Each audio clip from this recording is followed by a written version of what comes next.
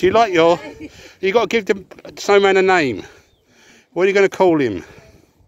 Say Olaf. Olaf.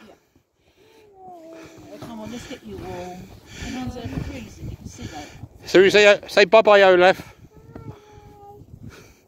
Say bye-bye, yellow one.